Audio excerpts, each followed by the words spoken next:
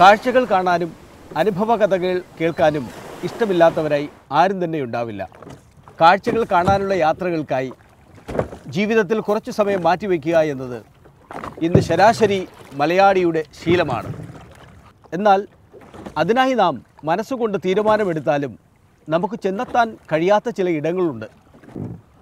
ഒരുപക്ഷെ ഭൂമിയിലെ തന്നെ ഏറ്റവും മനോഹരമായ കാഴ്ചകളുള്ള സ്ഥലമായിരിക്കാം അത്. അതുപോലൊരിടമാണ് ഈ കാണുന്ന കടലിന്റെ അടിത്തട്ട്.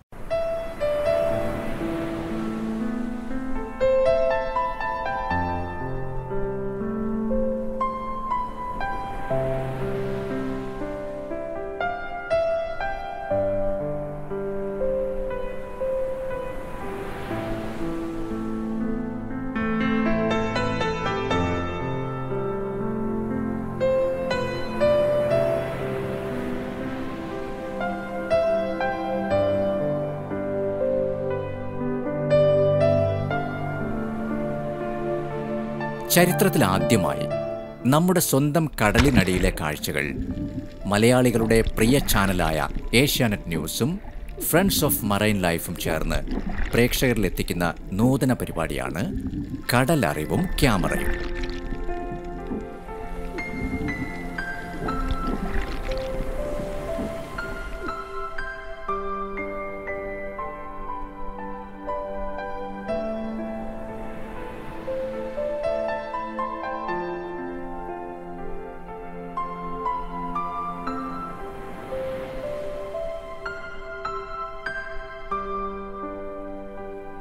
കരയിലെ ഭൗമോപരിതലത്തിൽ നിറയെ വിസ്മയ കാഴ്ചകൾ പ്രകൃതി നമുക്കായി ഒരുക്കി വച്ചിരിക്കുന്നത് പോലെ.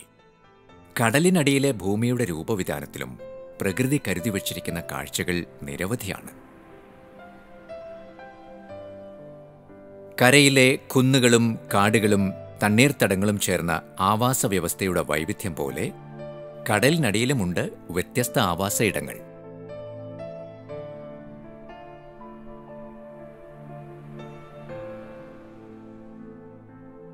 ഇത് വർക്കലയ്ക്ക് നേരെ ഏതാണ്ട് ഇരുപത്തിയഞ്ച് മീറ്റർ ആഴമുള്ള കടലിന്റെ അടിത്തട്ടാണ്. തിരുവനന്തപുരം ജില്ലയുടെ കടലിൽ ഏറ്റവുമധികം പാറപ്പാരികളുള്ള ഇടം. ചെറുതും വലുതുമായ പലതരം മത്സ്യങ്ങൾ കോളനികളായി വസിക്കുന്ന താവളം കൂടിയാണ് പാറപ്പാരുകൾ. ചെമ്പല്ലി പുളിമീൻ പോള പൂട്ടള കലവ മുതലായ മത്സ്യങ്ങൾ സ്ഥിരമായി കാണുന്ന ഇടം. കടലിലെ ഈ അടിത്തറ സമുദ്ര ജൈവ വൈവിധ്യ സമ്പന്നമാണെന്നതാണ് ഈ മീനുകൾ ഇവിടെ താവളമടിക്കാനുള്ള പ്രധാന കാരണം.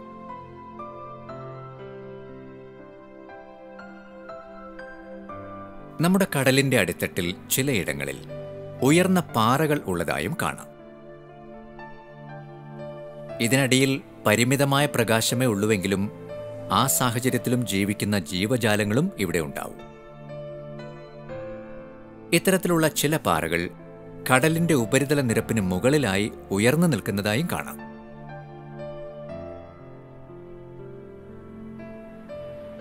ഇത് തറപ്പാരുകൾ.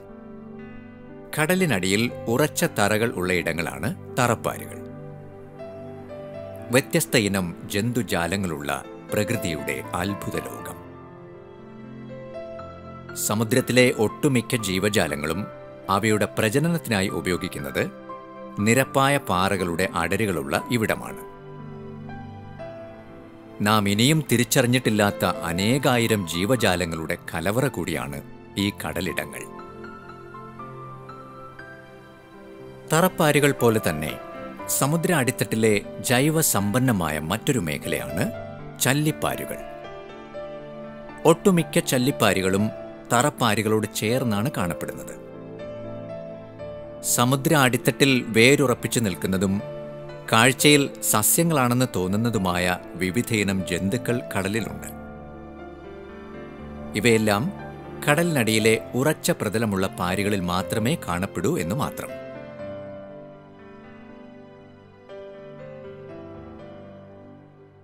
കടലിൽ എന്തൊക്കെയുണ്ട്?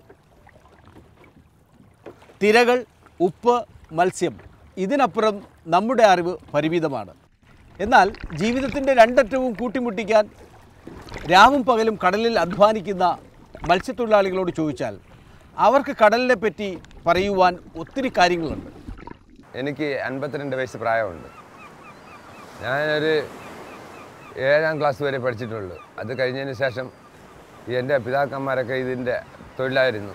അവരെ കൂടെ കടപ്പുറത്ത് വരികയും നീന്തി കുളങ്ങളിൽ നീന്തി പഠിച്ചിരുന്ന നേരത്തെ ഇവിടെ വന്ന് ചെറുതായിട്ടൊക്കെ ഈ ചുപ്പിയും ഈ ശംഖും എടുത്ത് ഇങ്ങനെ നല്ല രീതിയിൽ മുങ്ങാനായി പഠിച്ചു കഴിഞ്ഞു. ഞാനൊരു ഒരു അഞ്ചെട്ടാൾ താഴ്ചയിലെല്ലാം താഴും.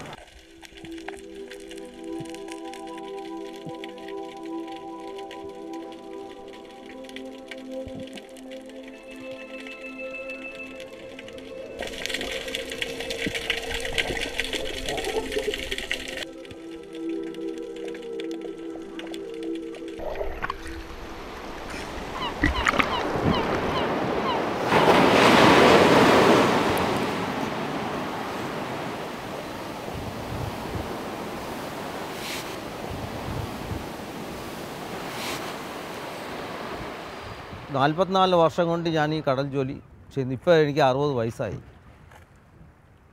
ഞാൻ പാരിൽ മീൻ പിടിക്കുന്ന ആളാണ്. എന്റെ അച്ഛനും സഹോദരങ്ങളും ഒക്കെ പാരിൽ മീൻ പിടിക്കുന്ന ആളാണ്. അത് കണ്ട് പഠിച്ചതാണ് ഞാൻ. മത്സ്യത്തൊഴിലാളികൾ കടലിൽ പാരാണോ മണലാണോ എന്ന് അറിയുന്നതെന്ന് വെച്ചാൽ ചൂണ്ട ഇടുന്ന സമയത്ത് ചില പാലുകളിൽ ചൂണ്ട മാറ്റിക്കഴിഞ്ഞാൽ പെട്ടെന്ന് ഇങ്ങനെ അന്ന് തട്ടി ഇങ്ങോട്ട് വരത്തില്ല. അതുകൊണ്ട് തീർച്ചയെടുക്കാൻ പറ്റത്തുള്ളൂ. അപ്പോഴും നമുക്കറിയാം ഇത് ഉറപ്പായ വലിയ പാരാണ് എന്നുള്ളത് നമുക്ക് മനസ്സിലാവും. ഈ തറവാരിലൊക്കെ ആകുമ്പോൾ നമ്മൾ ചൂണ്ട ഉടക്കി കഴിഞ്ഞാലും പതുക്കെ ഇങ്ങ് പിടിച്ച് നൂത്തുന്ന വരുമ്പോൾ തട്ടി തട്ടി ഇങ്ങോട്ട് വരും. അതുമാത്രമല്ല ചില തറവാരുകളെന്ന് പറയുമ്പോൾ അതിന് ചൂണ്ടയിൽ തന്നെ അത് ചെറിയ ചെറിയ പാരിന്റെ കഷ്ണങ്ങളൊക്കെ ഉടക്കി വരും. വലിയ പാരൊന്നും അങ്ങനെ വരത്തില്ല. പാരുകളിൽ മീൻ കൂടുതലായിട്ട് പിടിക്കുന്നത് രാത്രിയാണ്. രാത്രി നിലവ് ഉദിച്ചു വരുന്ന നിലവ് പൂർ പൂർണചന്ദ്രൻ ഉള്ള സമയത്ത് പണ്ടേ കാലങ്ങളിൽ അങ്ങനെയാണ്. പൂർണചന്ദ്രൻ കുറച്ച് ഏകദേശം ഒരു നിലവ് പിറ കണ്ട് ഒരു മൂന്ന് നാലഞ്ച് ദിവസം കഴിഞ്ഞിട്ട് ഉണ്ടാകുന്ന ആ ചന്ദ്രന്റെ ആ വെളിച്ചത്തിലും. പിന്നെ അത് കഴിഞ്ഞിട്ട് പൂർണചന്ദ്രനായിട്ടും പൂർണചന്ദ്രൻ തീരുന്നതിന് രണ്ട് മൂന്ന് ദിവസത്തിന് മുമ്പേ വരെയുള്ള ആ വെളിച്ചത്തിലും പാരുകളിൽ രാത്രി മീൻ കൂടുതൽ കിട്ടും. എന്റെ പേര് സുധി. ഞാൻ കോവളം കടലിൽ മത്സ്യബന്ധനം നടത്തി ഉപജീവന മാർഗത്തിൽ ജീവിക്കുന്ന ഒരു വ്യക്തിയാണ്. എന്റെ പരമ്പരാഗതമായ കുടുംബങ്ങളെല്ലാം കടലുമായിട്ട് ബന്ധപ്പെട്ട് ജീവിച്ചവരാണ്. അവരെ കണ്ടാണ് ഞാനും പഠിച്ചത്. എന്റെ പഠനം പത്താം ക്ലാസ് വരെ ഞാൻ പഠിച്ചു. പക്ഷേ അതിനേക്കാൾ കൂടുതൽ പഠിച്ചത് ഈ കടലിന്റെ അകത്തുള്ള ജോലികളും കടൽ തിരമാലകളിലൂടെ മല്ലടിച്ച് നീന്തുന്നതും ആ പഴയ പഴയ മത്സ്യത്തൊഴിലാളികൾ എങ്ങനെ ഇതിനെ മല്ലിടുന്നു എന്നുള്ള കാര്യത്തിനെക്കുറിച്ച് എനിക്കൊരു ഒരു ആവേശമുണ്ടായി. അങ്ങനെ ഞാൻ ഈ കടലിൽ മുങ്ങാൻ പഠിച്ചു നീന്താൻ പഠിച്ചു. അവിടെ നിന്ന് മുങ്ങാൻ പഠിച്ചു അവിടെ നിന്ന് മീൻ പിടിക്കാൻ തുടങ്ങി. അങ്ങനെ ഇരിക്കെ ഫ്രാൻസിൽ നിന്നും വന്ന ഒരു ഒരു ചെറുപ്പക്കാരൻ പയ്യൻ. അവൻ നല്ല മുങ്ങൽ വിദഗ്ധനാണ്. ആ മുങ്ങുന്ന പയ്യൻ എന്റെ മുങ്ങൽ കണ്ടുകൊണ്ട് അവൻ എന്റെ കൂടെ മുങ്ങാൻ കടലിൽ വന്നു. അങ്ങനെ അവനാണ് എനിക്ക് ആദ്യമായി ഈ ഹാർപ്പൂൺ എന്ന് പറയുന്ന ഈ ഫിഷിംഗ് ഗൺ എന്റെ കയ്യിലേക്ക് തരുന്നത്.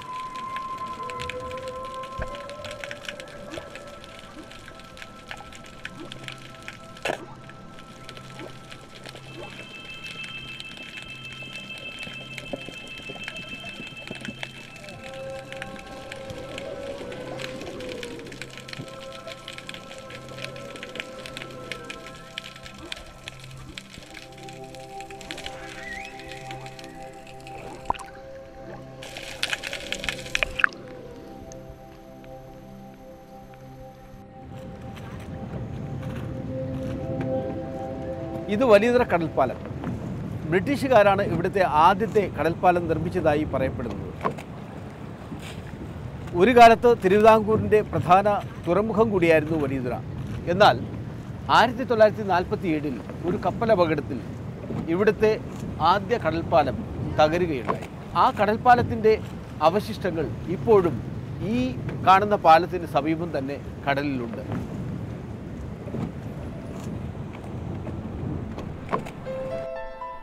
പത്തൊൻപതാം നൂറ്റാണ്ടിന്റെ ആദ്യ പകുതിയിൽ ബ്രിട്ടീഷുകാർ നിർമ്മിച്ചതായി പറയപ്പെടുന്ന വലിയ തുറയിലെ ആദ്യത്തെ ഇരുമ്പ് കടൽ പാലത്തിന്റെ അവശിഷ്ടങ്ങളാണ് ഈ കാണുന്നത്.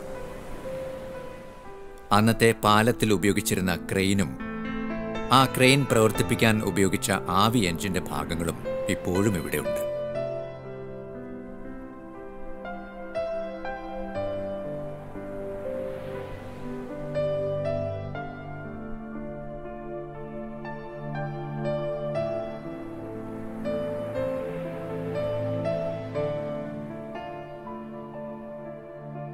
ഇത് ആയിരത്തി എഴുന്നൂറ്റി അൻപത്തിനാലിൽ വർക്കലയ്ക്ക് നേരെ നാൽപ്പത്തിമൂന്ന് മീറ്റർ ആഴമുള്ള കടലിൽ മുങ്ങിത്താണുപോയ കപ്പൽ. ഇന്ന് ഈ കപ്പലിനടുത്തേക്ക് മുങ്ങിയെത്തുമ്പോൾ അവിടെ നിറയെ ശലഭ മത്സ്യങ്ങളുടെയും കാക്കക്ലാത്തികളുടെയും അലസ സഞ്ചാരം കാണാം. കാട്ടിലെ ചിലയിടങ്ങളിൽ നിറയെ പൂമ്പാറ്റകൾ പാറിക്കളിക്കും പോലെ. ആയിരത്തി തൊള്ളായിരത്തി അറുപത്തിയെട്ടിൽ ശംഖുമുഖത്തിന് നേരെ ഏതാണ്ട് അൻപത് മീറ്റർ ആഴമുള്ള കടലിലും ഇതുപോലെ മുങ്ങിത്താഴ്ന്ന മറ്റൊരു ഗ്രീക്ക് എണ്ണക്കപ്പലുണ്ട്.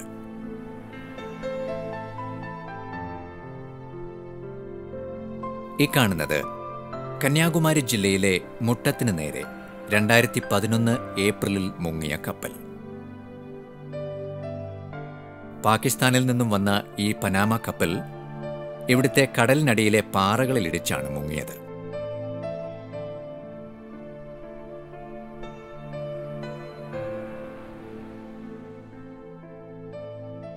ശാസ്ത്രീയമായ പര്യവേക്ഷണങ്ങൾ കൊണ്ട് ധാരാളം അറിവുകൾ നമുക്ക് കണ്ടെത്താൻ സാധിക്കും. പക്ഷേ അതിനൊക്കെ ഒരു പൂർണത ഉണ്ടാകണമെങ്കിൽ അനുഭവജ്ഞാനമുള്ള മത്സ്യത്തൊഴിലാളികളിൽ നിന്ന് കൂടെ വിവരം കിട്ടണം.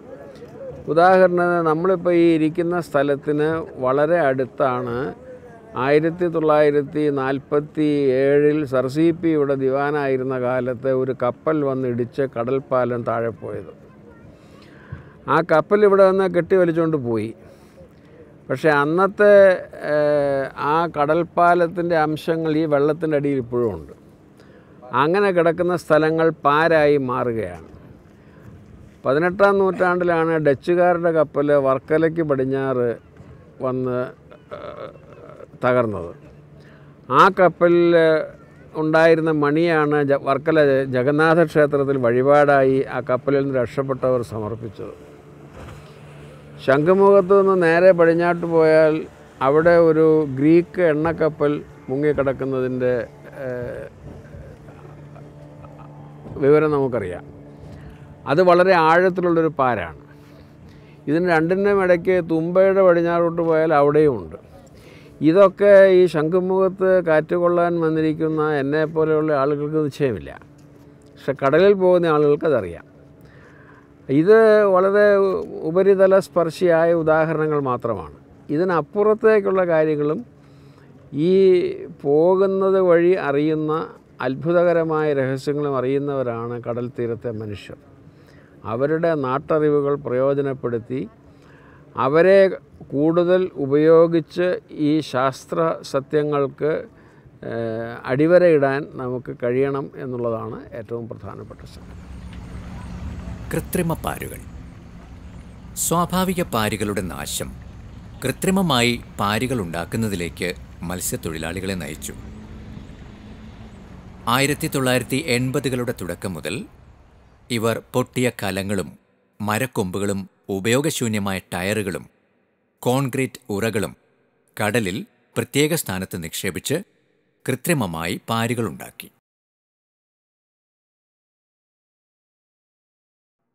കടലിന്റെ അടിയിൽ ഉറച്ച പ്രതലങ്ങളുണ്ടെങ്കിൽ അവിടെ കടലിലെ വ്യത്യസ്ത ജീവസമൂഹങ്ങൾ വന്നണയുമെന്നും ആ ഇടം മത്സ്യങ്ങളുടെ താവളമായി തീരും എന്നുമുള്ള പരമ്പരാഗത അറിവുകളിൽ നിന്നാണ് കൃത്രിമ പാരികളുടെ തുടക്കം.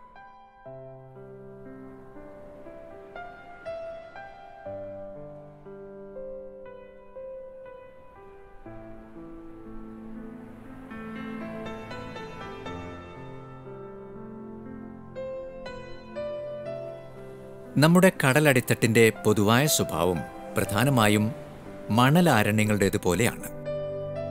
അവിടെ ആകട്ടെ ജൈവസമൂഹങ്ങൾ പോയിട്ട് ഒറ്റപ്പെട്ട ജീവജാലങ്ങളെ പോലും അപൂർവമായി കാണാൻ കഴിയൂ. എന്നാൽ വ്യത്യസ്ത സമുദ്ര ആവാസ വ്യവസ്ഥയിൽ ഏറെ പ്രധാനപ്പെട്ട ഒന്നാണ് തീരത്തോട് ചേർന്ന പാറപ്പാരുകൾ. ആഴം കുറഞ്ഞ കടലായതിനാൽ തന്നെ ഈ പ്രദേശങ്ങൾ ജൈവ വൈവിധ്യ സമ്പന്നമാണ് തിരുവനന്തപുരം ജില്ലയിലെ വർക്കലയോടടുത്ത കടലിലും കോവളം മുതൽ ചൊവ്വര വരെയുള്ള കടലിലുമാണ് പ്രധാനമായും തീരക്കടൽ പാറപ്പാരുകൾ ഉള്ളത് ഇത് കോവളം കടലിനടിയിലെ പാറക്കൂട്ടങ്ങൾ. ചെറുതും വലുതുമായ ഒട്ടനവധി പാറപ്പാരുകൾ ഉള്ള ഇടമാണ് കോവളം. കോവളത്തു നിന്നും കഷ്ടിച്ച് മൂന്ന് കിലോമീറ്റർ അകലെയാണ് മുല്ലൂരിലെ തീരക്കടൽ പാറപ്പാലുകൾ അവിടെ എത്തിയാൽ വിവിധയിനം സ്പോഞ്ചുകളുടെയും അസീഡിയനുകളുടെയും വർണങ്ങൾ ഇടകലർന്ന നിറക്കൂട്ടങ്ങളുടെ ഉത്സവമേളം തന്നെ കാണാം. കടലിന്റെ നിഗൂഢമായ ഹരിത രഹസ്യങ്ങൾ ഒളിപ്പിച്ചു വച്ചിരിക്കുന്ന തീരക്കടൽ പാറപ്പാലുകളെ നാം ഇനിയും വേണ്ട വിധം തിരിച്ചറിഞ്ഞിട്ടില്ല.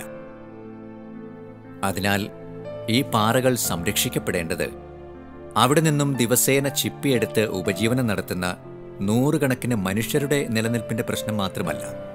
മറിച്ച് അവിടെ ജീവിക്കുന്ന ആയിരക്കണക്കിന് സമുദ്ര ജീവജാലങ്ങളുടെ കൂടി നിലനിൽപ്പിന്റെ പ്രശ്നമാണ്.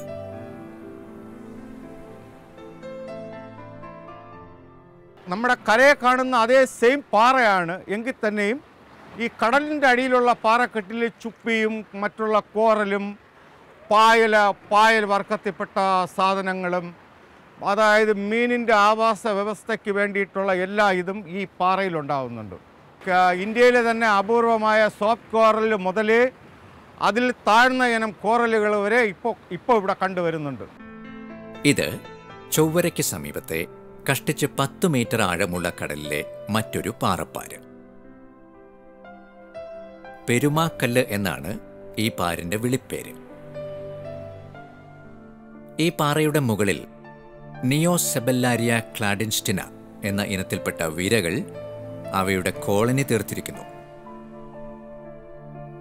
ഇന്ത്യയിൽ തന്നെ ആദ്യമായാണ് ഇത്രയും വളരെ വിശാലമായ ഈ സബല്ലാരുടെ കുടുംബത്തിൽപ്പെട്ട ഈ വിരകളുടെ ഒരു കോളനി നമുക്ക് ദൃശ്യമാകുന്നു ഒരുപക്ഷെ ഇന്ത്യയിൽ എവിടെയും ഈ സബലാരുടെ എന്ന് പറയുന്ന വിരകളുടെ പ്രാധാന്യത്തെ പറ്റിയോ അതിന്റെ പാരിസ്ഥിതിക മൂല്യങ്ങളെ പറ്റിയിട്ടുള്ള രേഖപ്പെടുത്തലുകൾ നടന്നിട്ടില്ല എന്നുള്ളതാണ്. എന്നാൽ ഈ ശാസ്ത്ര സമൂഹം പലപ്പോഴും പ്രത്യേകിച്ചും പിന്നെ വിദേശ രാജ്യങ്ങളിൽ വളരെ കൃത്യമായിട്ട് ഇവയുടെ പാരിസ്ഥിതിക മൂല്യം ഉൾക്കൊണ്ടിട്ടുണ്ട്. അങ്ങനെ നോക്കുകയാണെന്നുണ്ടെങ്കിൽ ഇതിന്റെ ഒരു സവിശേഷത മറ്റ് ജീവികൾക്ക് ഇല്ലാത്തൊരു സവിശേഷത ഇതിൽ നോക്കി കാണേണ്ടി വരും.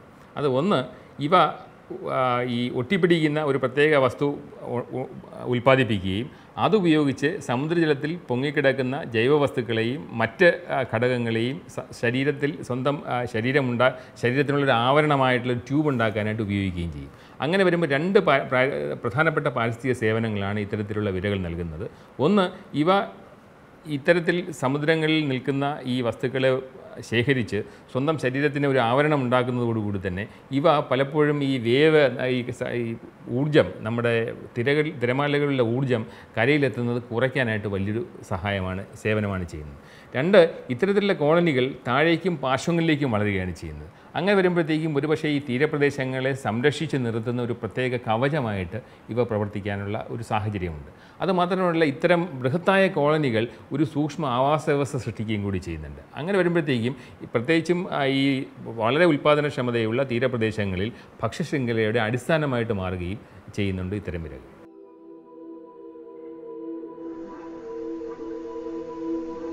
ഇനി കൊല്ലം ജില്ലയിലെ പരവൂരിലെ തീരക്കടൽ പാറപ്പാരികളിലേക്ക് വരാം.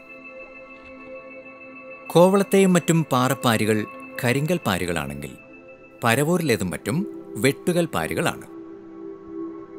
അതുകൊണ്ട് തന്നെ രണ്ടിടങ്ങളിലെയും സമുദ്ര ജൈവ വൈവിധ്യത്തിനുമുണ്ട് വ്യത്യാസം. പരവൂരിലെ പാരികളിലെത്തിയാൽ ശരിക്കും നാം ഭൂമിയുടെ ആദിമ പ്രകൃതി കണ്ടെത്തിയതുപോലൊരു അനുഭവമാണ് ഉണ്ടാകുന്നത് കടൽപ്പരപ്പിനെ തുളച്ചെത്തുന്ന പ്രകാശക്കീറ് അവയ്ക്കുമേലെ പതിക്കുമ്പോൾ നമുക്കിവിടുത്തെ ജീവജാലങ്ങളെ ഒന്നൊന്നായി കാണാനാവും. ഒപ്പം ഇവയും പ്രകൃതിയിലെ നമ്മുടെ സഹജീവികളാണ് എന്നറിയുന്നതിലെ ചാരിതാർത്ഥ്യവും. ജൈവലോലമായ തീരക്കടൽ പാറപ്പാരികളിൽ പ്രകൃതി അനാവരണം ചെയ്തിരിക്കുന്ന ഈ ജൈവ പുതപ്പൊന്ന് നീക്കിയാൽ പൊടുന്നനെ പാറകളുടെ ചുറ്റും ജീവിക്കുന്ന നാനാതരം ജീവജാലങ്ങൾ വന്നണയും.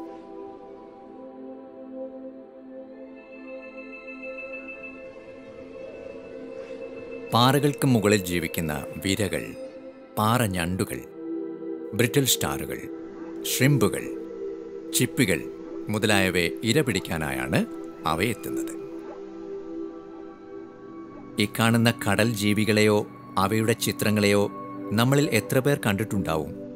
ഉറച്ച പുറന്തോടുള്ള ചിപ്പികളെയും മറ്റും കൊത്തി ഉടച്ച് തിന്നാൻ പാകത്തിൽ വലിയ പല്ലുകളുള്ള പഫർ ഫിഷുകളും പാരറ്റ് ഫിഷുകളും മുതൽ പാറമുകളിലെ പുഴുക്കളെയും മറ്റും തേടിയെത്തുന്ന കൂർത്ത ചുണ്ടുകളുള്ള വർണ മത്സ്യങ്ങൾ വരെ അതിലുണ്ടാവും.